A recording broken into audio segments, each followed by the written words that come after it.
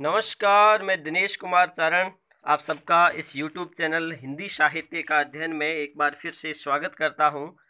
अगर आपने अभी तक मेरे चैनल हिंदी साहित्य का अध्ययन को सब्सक्राइब नहीं किया है तो सबसे पहले मेरे चैनल को सब्सक्राइब करें, साइड में दिए हुए बेल आइकन को भी दबाएँ, ताकि आगे आने वाला प्रत्येक अपडेट आप तक सबसे पहले और आसानी से पहुँच सके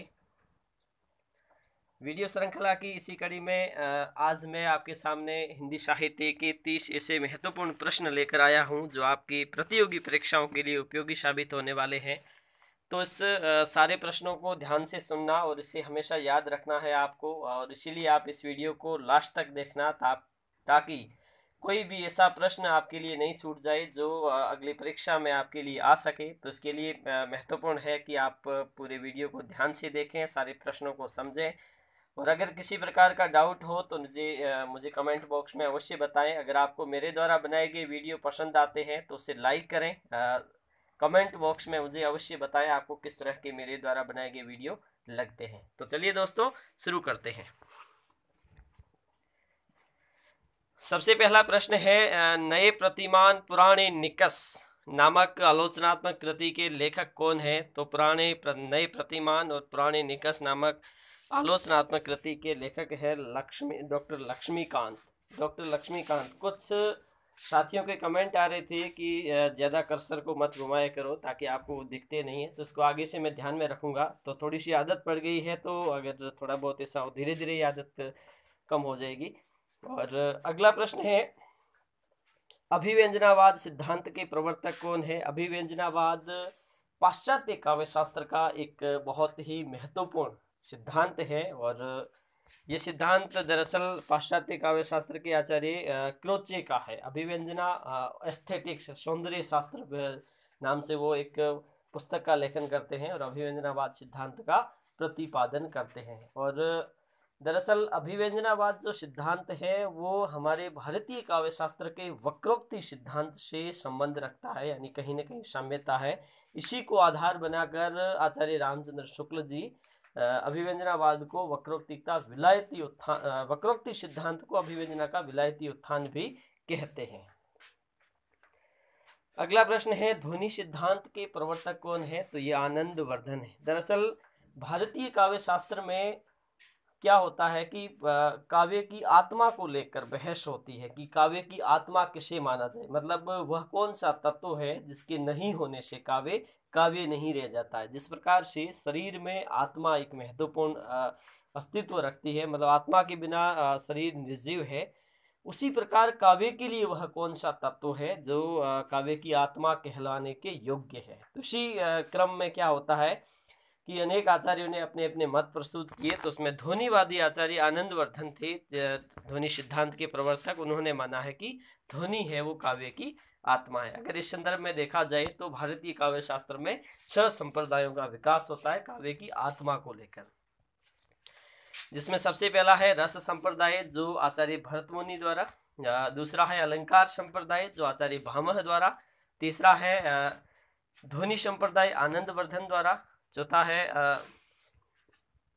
वक्रोक्ति, आचार्य कुंतक द्वारा, और पांचवा है औचित्य संप्रदाय, जो क्षेमेंद्र के द्वारा, और छठा और अंतिम है, रीति संप्रदाय, जो आचार्य वामन के द्वारा। इस प्रकार से छह संप्रदाय का विकास होता है। उनमें से ध्वनि सिद्धांत है, वो आनंद वर्धन का।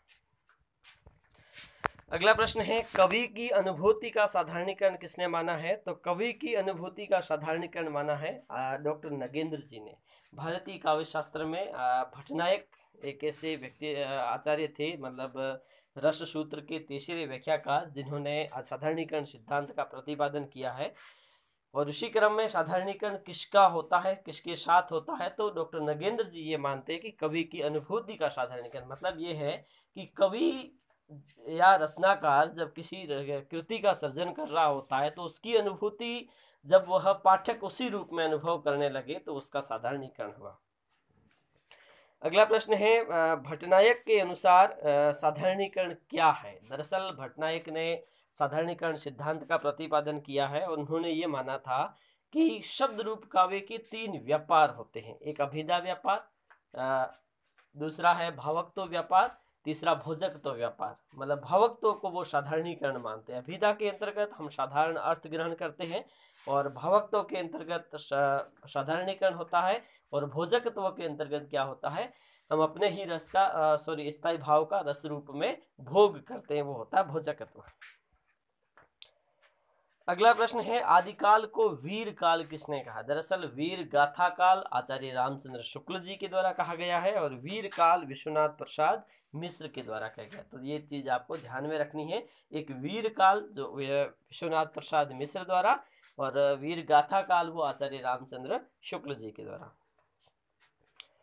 अगला प्रश्न है आलवार भक्तों में एकमात्र कवियत्री। आलवार भक्त जिनकी संख्या बारह मानी जाती है दक्षिण भारत में वैष्णव भक्तों को आलवार कहा जाता था। आ, सबसे पहले भक्ति का उदय भी वहीं से होता है। उनमें से अंडाल या आंदाल ऐसा एक नाम था जो एक एकमात्र कवियत्री थी एकमात्र स्त्री थी जो उस प्रकार की भक्ति कर रही थी। उन्हें इन्हें दक्षिण भारत की मीरा भी कहा जाता है। अगला प्रश्न है श्री संप्रदाय के प्रवर्तक, श्री संप्रदाय रामानुजाचार्य। ठीक है, रामानुजाचार्य, रामानुज जो है, वो दरअसल रामानुज की भक्ति परंपरा से ही राघवानंद आते हैं और राघवानंद के बाद रामानंद आते हैं। तो इस प्रकार से दक्षिण से उत्तर भारत में भक्ति का प्रसार होता है और रामानुज ने श्री संप्रदाय का प्रवर्तन किया था। अगला प्रश्न है, चंडी चरित्र नामक काव्य है, वो किसका है? तो गुरु गोविंद सिंह का। चंडी चरित्र बहुत ही महत्वपूर्ण लिखा, एक महत्वपूर्ण काव्य है। अक्षर परीक्षाओं में पूछे जाने योग्य एक प्रश्न है तो आपको ये ध्यान में रख, रखना है। अगला प्रश्न है, साहित्य सहचर नामक निबंध किसका है? तो साहित्य सहचर नामक निबंध आचार्य हजारी प्रसाद द्विवेदी जी का निबंध है। आचार्य हजारी प्रसाद द्विवेदी जी आधुनिक युग के एक महत्वपूर्ण उपन्यासकार भी है, निबंधकार भी और आलोचक भी है। आलोचक के रूप में इनकी बहुत अच्छी ख्याति प्राप्त हुई है इन्हें। अगला प्रश्न है, रस कलश नामक काव्य है, वो किसका है? ये अयोध्या सिंह उपाध्याय हरियोद जी का काव्य है। रस कलश मतलब अगर देखा जाए तो एक प्रिय प्रवास वेद ही वनवास और रस कलश, ये तीन इनके महत्वपूर्ण काव्य है। और ये प्रिय प्रवास और विदेही वनवास है, ये दोनों खड़ी बोली हिंदी में लिखे गए हैं और रस कलश है, जहाँ तक मेरी, मैंने पढ़ा है तो ये ब्रज भाषा में लिखा गया है। अगला प्रश्न है समालोचना दर्श नामक कृति किसकी है? समालोचना दर्श नामक एक काव्य सॉरी एक आलोचनात्मक कृति है, जो जगन्नाथ दास रत्नाकर की कृति जगन्नाथ दास रत्नाकर आधुनिक युग में भी ब्रज भाषा में लिखने वाले एक प्रतिनिधि रचनाकार है। इनकी एक महत्वपूर्ण बिहारी सत्सई पर लिखी गई टीका है, जिसका नाम है बिहारी रत्नाकर। अगला प्रश्न है, मी नीर, मैं नीर भरी दुख की बदली विस्तृत नभ का कोई कोना, मेरा न कभी अपना होना। उमड़ी कल थी मिटाज चली, मैं परिचय इतना इतिहास यही, उमड़ी कल थी मिटाद चली। ये बहुत ही इनकी एक वेदनापूर्ण लिखी गई पंक्तियाँ हैं, महादेवी वर्मा जी की पंक्तियाँ हैं। तो ये बहुत ही प्रसिद्ध है और इसे हमेशा ध्यान में रखना है अक्सर प्रतियोगी परीक्षा में पूछी जाती है। अगला प्रश्न है, ग्राम्या नामक जो काव्य है वो किसका है? ये दरअसल पंत जी का काव्य है। पंत जी का काव्य तीन चार चरणों में पूर्ण होता है। सबसे पहले उनका काव्य हम देखते हैं। एक छायावादी काव्य होता है। दूसरे प्रकार का, दूसरे चरण में ये प्रगतिवादी लिखते हैं तो ग्राम्या है वो प्रगतिवादी काव्य है। ग्रामा युगवाणी, युगांत, ये इनका प्रगतिवादी काव्य उसके बाद में अरविंद दर्शन से प्रभावित और अंत में वो नव मानवतावादी दर्शन से प्रभावित होते अगला प्रश्न है, राह के दीपक नामक काव्य किसका है? तो रांगे राघव का काव्य है, उन्नीस सौ सैंतालीस में ये प्रकाशित होता है। रांगे राघव आधुनिक युग के एक महत्वपूर्ण उपन्यासकार के रूप में माने जाते हैं। इन्होंने एक मुर्दों का टीला, बहुत ही महत्वपूर्ण, मोहनजोदड़ो पर लिखी गई एक महत्वपूर्ण कृति है। अगला प्रश्न है राणु रेणु जी के किस उपन्यास का कथानक पूर्णिया ज़िले का पुराणपुर गाँव पर आधारित है? मतलब फणेश्वरनाथ रेणु, आधुनिक युग के एक महत्वपूर्ण आंचलिक उपन्यासकार है। इनकी आंचलिक कहानियाँ भी प्रकाशित हुई है। उनमें से एक है, परति परिकथा उपन्यास, जो उन्नीस में प्रकाशित होता है। ये भी एक आंचलिक उपन्यास है और ये आंचलिक उपन्यास बिहार के पूर्णिया ज़िले के पुराणपुर गाँव पर आधारित है। आंचलिक उपन्यास, अंचल विशेष से संबंधित उस संस्कृति सभ्यता, रहन सहन इस चीज़ को दर्शाता है। अगला प्रश्न है, निपुणिका किस उपन्यास की पात्र है? निपुणिका दरअसल बाण भट्ट की आत्मकथा नामक उपन्यास की पात्र है, जो उन्नीस सौ छियालीस में प्रकाशित होता है। और बाण भट्ट की आत्मकथा, जिसका लेखन आचार्य हजारी प्रसाद द्विवेदी जी करते हैं। और निपुणिका के अलावा इसमें बाण भट्ट सुचरिता भट्टिनी महामाया, ये इनके महत्वपूर्ण और मुख्य पात्र हैं। ये एक ऐतिहासिक उपन्यास है जो बाण भट्ट के जीवन को आधार बनाकर लिखा गया है। अगला प्रश्न है झूठा सच सॉरी झूठ सच नहीं, झूठा सच नामक जो उपन्यास है, इसके दो खंड का, कितने खंड है? तो इसके दो खंड है, पहला खंड है, वतन और देश। जो उन्नीस में प्रकाशित होता है, दूसरा है देश का भविष्य जो उन्नीस सौ अट्ठावन में प्रकाशित होता है और ये देश के विभाजन के पश्चात विभाजन किस प्रकार से होता है, ये देश को किस प्रकार से प्रभावित करता है, इस पर आधारित है और ये एक मार्क्सवादी उपन्यासकार यशपाल जी का लिखा गया महत्वपूर्ण उपन्यास है।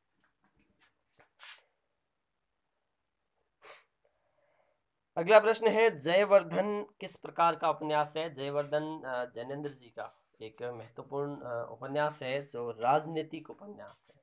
उपन्यास का विषय है, वो राजनीति से संबंधित है, वो राजनीतिक उपन्यास है। अगला प्रश्न है अपने अपने अजनबी नामक उपन्यास किस पर आधारित है? अपने अपने अजनबी नामक उपन्यास है, वो अज्ञे जी का महत्वपूर्ण उपन्यास है और ये अस्तित्ववादी जीवन दर्शन पर आधारित है। क्योंकि प्रयोगवाद और नई कविता में हम देखते हैं कि वहाँ पर हमें अस्तित्ववादी जीवन दर्शन दिखाई देता है। तो ये उपन्यास है, वो कहीं ना कहीं उसी विचारधारा से प्रभावित है। तो ये अस्तित्ववादी जीवन दर्शन पर आधारित है। ये अज्ञ जी का उपन्यास है। अगला प्रश्न है, अमृतलाल नागर को किस रचना पर साहित्य अकादमी पुरस्कार दिया गया था? क्योंकि अमृतलाल नागर आधुनिक युग के एक महत्वपूर्ण उपन्यासकार है। उन्हें अमृत और विश्व नामक उपन्यास के लिए साहित्य अकादमी पुरस्कार दिया गया था। साहित्य अकादमी पुरस्कार अकादमी दिल्ली में स्थापित है, साहित्य से संबंधित। और ये पुरस्कार भारत की भाषाओं में लिखे जाने वाले महत्वपूर्ण कृतियों के लिए दिया जाता है। अगला प्रश्न है, किस उपन्यास में आपातकालीन यातना का चित्रण किया गया है, जब 1975 से 77 में देश में आपात की आपातकाल लागू होता है तो उस समय की यातना किस प्रकार से एक परिवार, जो एक विशेष गली में रहता है, वो किस प्रकार से एक मध्यम वर्ग और गरीब व्यक्ति है, वो किस प्रकार से यातना के शिकार होते हैं? उसका चित्रण होता है कटरा बी आरज़ू में राही मासूम रज्जा का उपन्यास है। राही मासूम रज्जा, ये बहुत बहुत ही महत्वपूर्ण आधुनिक युग के एक उपन्यासकार है। अगला प्रश्न है, लाल पान की बेगम नामक कहानी किसकी है? तो ये फणेश्वर नाथ रेणु की कहानी है। फणेश्वर नाथ रेणु आधुनिक युग के एक महत्वपूर्ण आंचलिक कथाकार है। अगला प्रश्न है हंसा जाई अकेला कहानी किसकी है? तो मार्कंडेय की कहानी है। मार्कंडेय भी एक महत्वपूर्ण रचनाकार है जो कहानी के क्षेत्र में अपनी एक अलग पहचान बनाते हैं। अगला प्रश्न है, प्रसाद की कहानियाँ किस प्रकार की है? प्रसाद की अधिकांशतः कहानियाँ भावात्मक और कल्पना प्रधान कहानियाँ हैं। मतलब लगभग सभी कहानियाँ भावनात्मक रूप से इंसान को जोड़ती है और उसके बाद में ये कल्पना पर आधारित कहानियाँ। अगला प्रश्न है, नीलम देश की राजकन्या नामक कहानी किसकी है? तो ये जैनेन्द्र की कहानी है। जैनेन्द्र भी आधुनिक युग के एक महत्वपूर्ण मनोविश्लेषणवादी उपन्यासकार है, कहानीकार है। तो ये इनकी एक महत्वपूर्ण कहानी है। सचेतन कहानी आंदोलन दरअसल उन्नीस सौ इक्यावन के पश्चात कहानी में एक आंदोलन से छिट जाते हैं। कई विचारधाराओं को आधार बनाकर, एक इस प्रकार की भावधारा जो एक आंदोलन का रूप ले लेती है। तो सचेतन भी उनमें से एक महानी आंदोलन था जो उन्नीस से प्रारंभ होता है। इसके प्रवर्तक महिप सिंह थे और आधार पत्रिका के माध्यम से इसका प्रसार हो रहा था। अगला प्रश्न है, प्रसाद के किस नाटक में जयचंद के पश्चाताप का चित्रण? जयचंद दरअसल एक राज, भारतीय राजा थे जिन्होंने इनको मोहम्मद गोरी का साथ दिया था पृथ्वीराज के विरुद्ध। तो इस प्रकार से उसके प्रश्चित नामक उन्होंने एक नाटक लिखा था जयशंकर प्रसाद जी में जी ने 1914 में जिसका प्रकाशन होता है, इसमें वो इस बात को दर्शाते हैं कि किस प्रकार से वो पश्चाताप करते हैं। अगला और अंतिम प्रश्न है, आधे अधूरे नाटक है वो। आधारित है, टूटते पारिवारिक मूल्यों का यथार्थ चित्रण इसमें। क्योंकि मध्यम वर्ग में किस प्रकार से मानवीय मूल्य और पारिवारिक मूल्य टूटते जा रहे हैं, व्यक्ति एक दूसरे से किस प्रकार से साथ रहकर भी अलग रह रहे मतलब मानसिक रूप से वो साथ नहीं रह रहे होते हैं। हर व्यक्ति अपनी मनोच्छा को पूर्ण भी नहीं कर पा रहा है मतलब हर किसी में अधूरापन दिखाई देता है। इस प्रकार से महेंद्र नाथ और सावित्री की कथा है, यहाँ पर दिखाई देती है। सावित्री अंत तक सावित्री मतलब सावित्री को कोई भी पूर्ण दिखाई नहीं देता, कहीं ना कहीं अधूरापन उसमें दिखाई देता है। तो ये अंतिम प्रश्न था। तो आशा करता हूँ मेरे द्वारा दी गई जानकारी आप सबकी परीक्षाओं के लिए उपयोगी साबित होगी। आज के लिए इतना ही। आपका बहुत बहुत धन्यवाद।